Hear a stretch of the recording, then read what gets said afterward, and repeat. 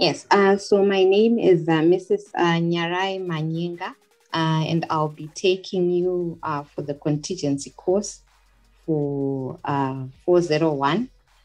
Uh, in terms of the course objectives, um, um, at the end of the course, students will be um, expected to know to define simple assurance and annuity contracts, as well as uh, developing formulae for, for these. And um, in the course, we will also describe and use practical methods um, of in evaluating um, expected uh, values and variances of uh, simple contracts. Um, and uh, in addition to this, uh, we'll also um, describe and uh, calculate net and gross premium reserves for life contracts as well as annuities. And um, over and above that, uh, we will be also describing and using methods for projecting and valuing expected uh, cash flows uh, that are also contingent on uh, multiple decrement events. And uh, we'll be also be uh, using projected cash flow techniques used in pricing and reserving, as well as assessing profitability. Hello. Uh, am I audible? I'm here. I'm seeing some comments in the chat section uh, where people are saying uh, we can't hear you. I, hello. Ah, okay. So I'll move on to the learning outcomes. Um, so you would be expected to actually uh, understand uh, the theory and practice of life assurance and pensions work. And uh, also, after doing this course, you also uh, have um, some background knowledge uh, in terms of uh, what work goes is done in life in the life assurance and pension sector. So, in terms of um, how I will structure this course, um, this is our initial uh, lecture, and um, we'll be just focusing on just a few topics uh, which are just introductory. And uh, to okay.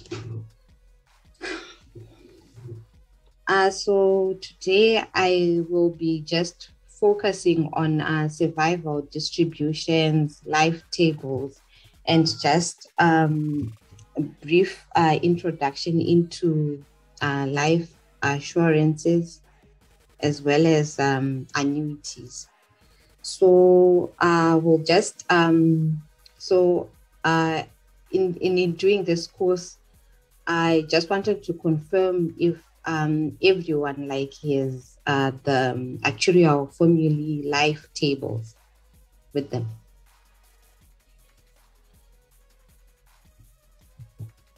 Yes, we have them. Okay, that's great. So I'll just uh, start um, in terms of um,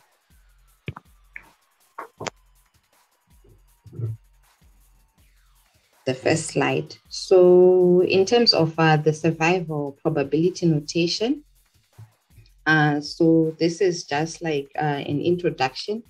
So TPX um, is the probability that a life aged exactly X survives for at least another T years. And then TQX uh, is the probability that a life aged um, exactly X dies uh, within the next T years.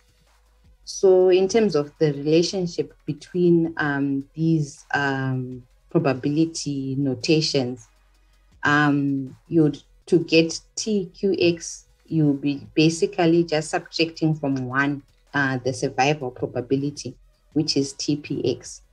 So QX um, is uh, equal to or 1QX, which is just uh, means uh, the probability of a life aged X uh, dies within uh, the within the one year period, as well as PQ PX is uh, is the same as uh, 1px uh, which just means uh, the probability of a life aged X surviving um, within uh, with, within for one year. So mu X uh, is the force of mortality at age X. And um, mu X uh, is defined as the limit as H tends to zero of H QX divided by, by H. So what that uh, basically means that this is just a measure of how you're likely to die uh, at a particular instant uh, of time, uh, mu x. So it's it's it's it's it's it's instant. It's continuous um, in terms of uh, the definition. So moving on to the complete uh, future lifetime for a life aged X. So by definition, um, Tx is um, is a continuous random variable, and uh, it is the exact future lifetime of a life aged X. So let's say, for example, um, a life aged X um, expects uh, to, to, to, to have uh, a, a, life um, expectation of about 30 years. Let's say the person is, is aged uh, 40 now and um, expects to live for possibly 30 years. So that uh, 30 years would be like the, the, the, the exact future lifetime um, of, of, of a life aged 40 that they expect to live. So this is a continuous ran, random variable. So it can take um, any value within a given range. Uh, uh, that is, Tx can take any value from zero up to, to infinity. So I will be sharing um, the formulas on a separate worksheet uh, that I did.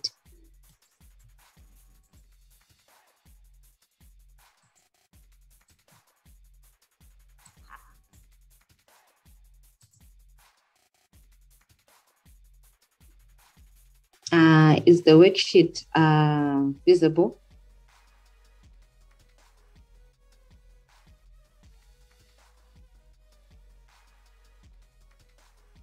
Yes, thank you. Okay. Uh, so, uh, in terms of defining, hello. Uh, it's, not, not, ma'am. Visible. It's not visible for us, ma'am. Hi, hi. We can see it.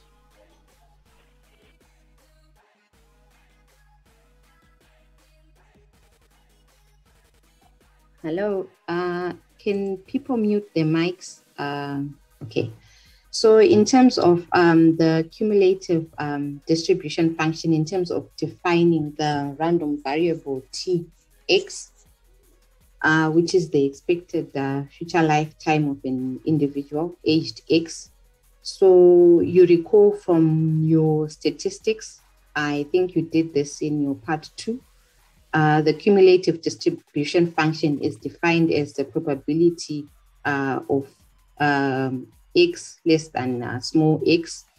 So uh, determining the um, cumulative distribution function for tx, uh, so that would be tx less than small t is equal to, to tqx.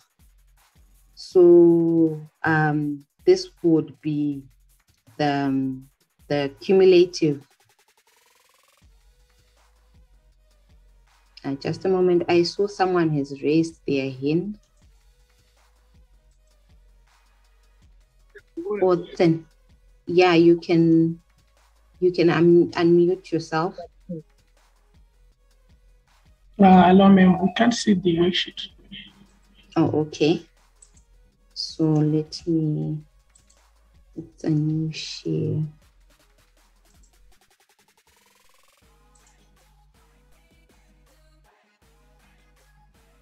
Yeah, can you can see it now. Yeah, you can see it. Sorry about that. Okay. Okay. Thank yeah. you. Okay. So um, in terms of the cumulative distribution, uh, this would be TQQX. So if you recall from your stats, which you also did in part two, uh, the um, probability distribution function uh, of um, cumulative distribution function is the derivative of, of, of, the CDF.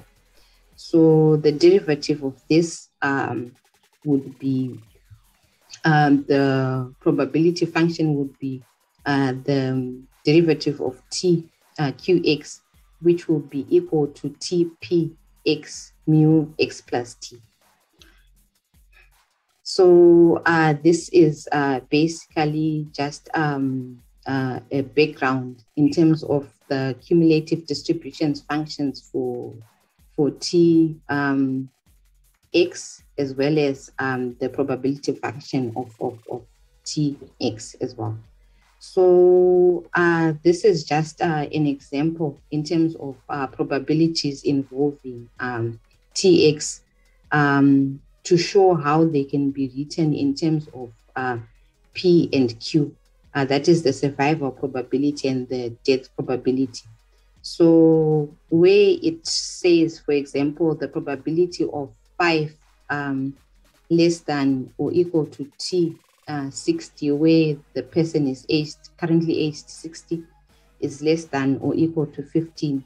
Uh, this basically means that um, uh, this person uh, will survive uh, for at least five years and is expected to die within um, the next uh, 10 years after those five years. So to evaluate these kind of probabilities, you write it in, in this notation.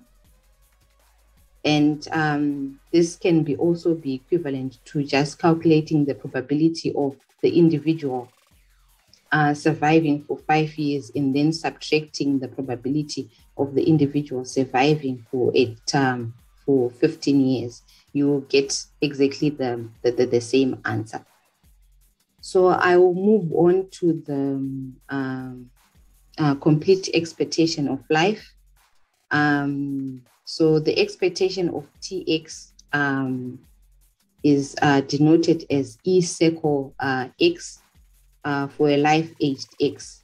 So um, if you recall uh, from your statistics uh, that um, the expectation for a continuous random variable is equivalent to, to the integral uh, or summing over all of x, uh, which will be uh, x times the probability density function of, of x dx.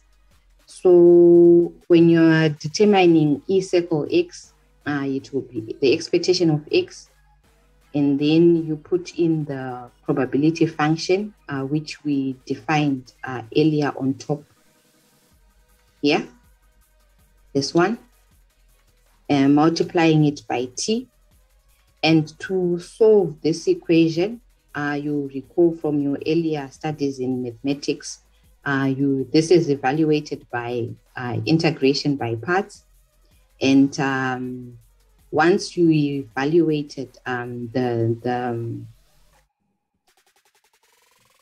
the formula for this, uh, you need to recall that the derivative of TPX uh, is equal to um, TPX mu x, and also the integral of that is minus TPX.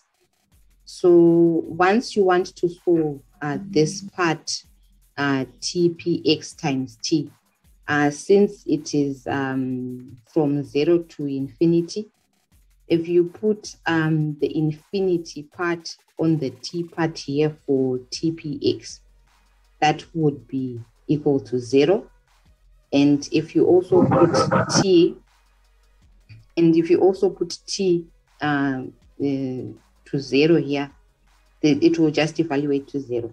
So this is uh, um, then the result for, so the expectation of uh, life uh, of an individual uh, aged X, TP, TX will be equal to the integral from zero uh, up to infinity, TPX dt.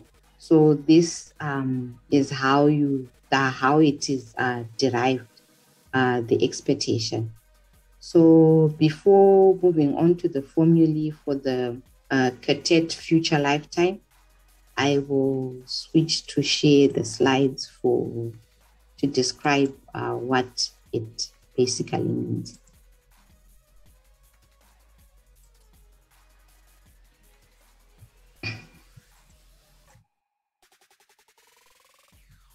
So the curtate future lifetime um, is the is the integer part of, of TX. So uh, this would be like values from uh, just one, two, three, four, like up to to infinity.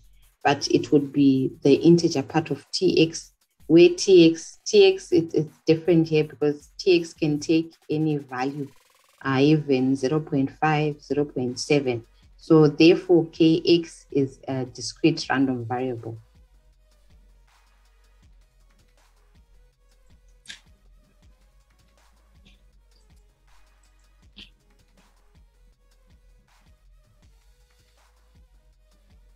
So the PDF for kx uh, is equal to the probability of kx equal to small k, uh, which is um, which is defined to be um, uh, the probability of a life uh, aged x surviving for k years and then dying the following year. So it would be expressed as kpx qx plus k. So this can be just uh, simplified as uh, k is qx, uh, this dash k here. So this basically just means the, the life survives for uh, the k years and then dies within the following year. So k will take values from zero, one, two, up to up to infinity.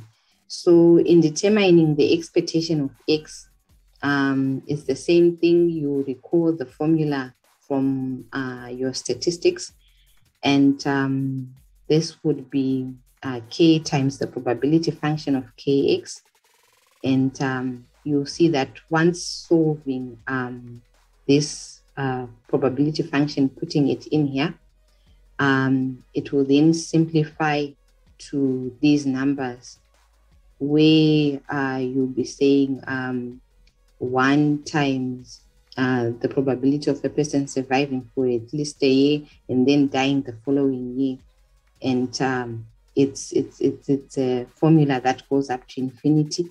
So then when you want to now simplify uh, breaking it down, uh, the formula, it will now give you um, these values uh, in terms of um, Q, QX, um, the person surviving for, for at least a year and then dying the next year um, up to up to infinity. Uh, then you also see here that there is a two here, and it would mean that uh, you would have to start.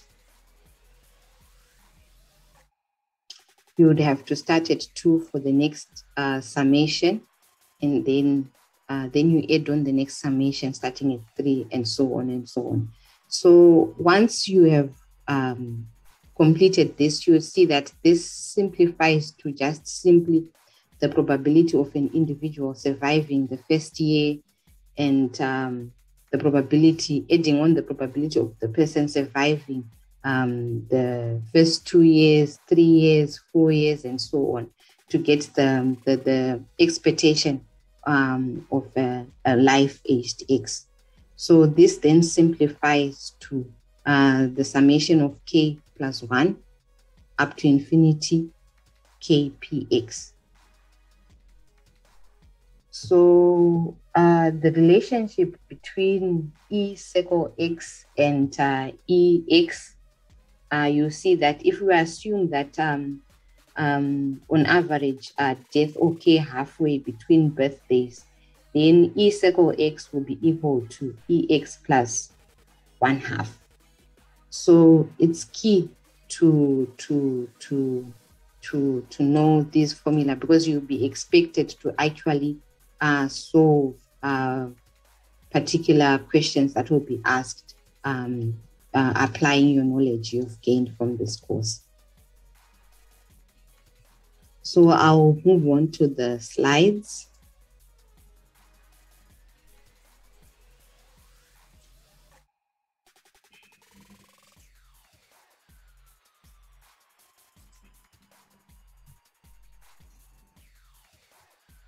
So in terms of uh, the life table, uh, just um, this are just like uh, descriptions uh, of the notations in the star in the life tables for you to understand them.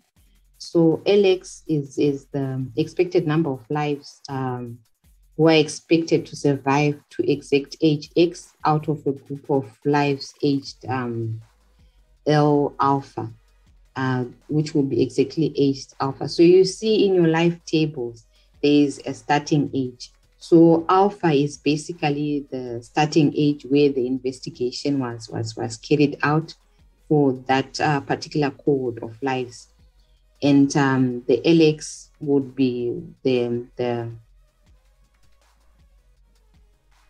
the number of uh, of lives who survive at that um, age. Um, I'm seeing a hand.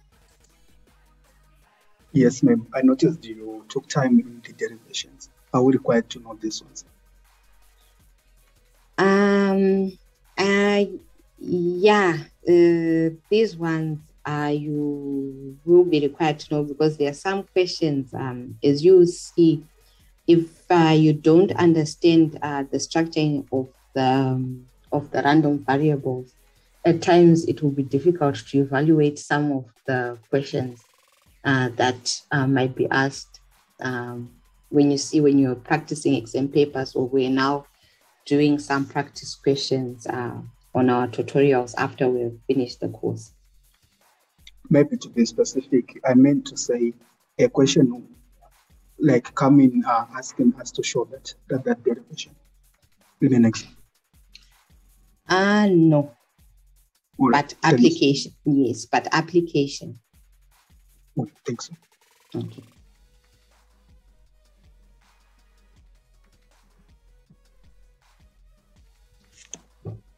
Uh, so moving on to the next part, um, as I alluded to, that uh, alpha will be the lowest age in the life table, and uh, you can see that uh, in your life tables if you have them. And uh, to calculate the survival probabilities, um, these are calculated using the formula um, in px, as I uh, said. So you this will be equal to lx plus n uh, divided by uh, lx. So you'll be saying um, the lives uh, at the start um, of, of, of, a, of, of a particular cohort uh, aged x. Then you want to see whether they've served what number of lives that survived um, up to they are now they'll be now aged x plus n. So that's how you calculate your survival probabilities. Then dx is uh, just the expected number of deaths uh, between exact age x and exact age x plus one um, out of a group of lives aged alpha. alpha. So dx is just lx minus lx plus one. So I just had um, some questions uh, for uh, individuals to just um, attempt.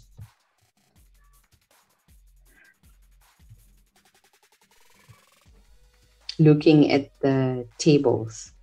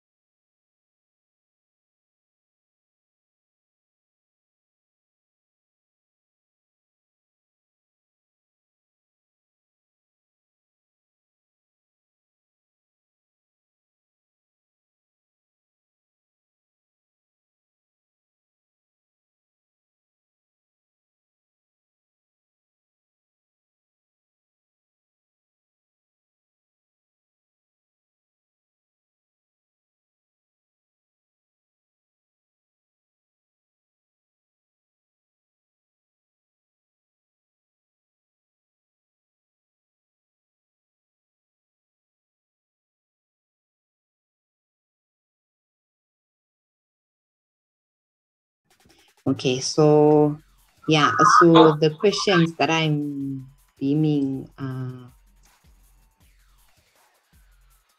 if you can just attempt from uh, what we have just uh, discussed.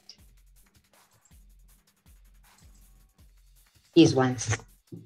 So you'll be just looking at um, calculating 5P60 using the ELT 15 females and 10Q70 ELT males and um, 10 dash uh, Q70 MA 92 tables.